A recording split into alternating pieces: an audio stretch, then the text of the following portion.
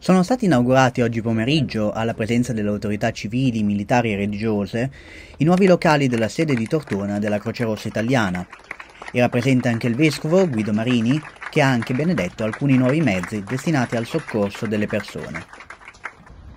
Ecco, la benedizione che diamo è perché ciascuno di noi, tutti, e in particolare quelli che operano nella Croce Rossa, possano avere l'occhio dell'amore e il vedere dell'amare sempre più intenso, sempre più pronto, sempre più capace di scorgere il bisogno umano che c'è attorno a noi, particolarmente su questo nostro territorio.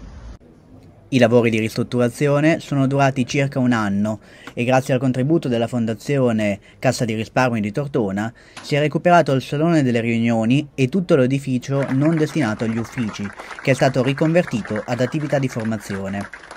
Martedì, infine, nei nuovi locali saranno presentati corsi di formazione per aspiranti volontari di Croce Rossa.